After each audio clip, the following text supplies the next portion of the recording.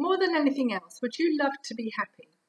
Do you long to be stress free, to sleep deeply, and to feel youthful and to age well? I'm sensing the answer is yes, that's why you're here. And for me, I used to say, there must be another way to live.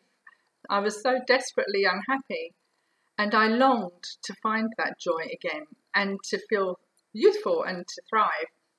And so I would love to share this with you. If you would like to find out more, then tab across and scroll down and let me show you how you can find your own way to be happy.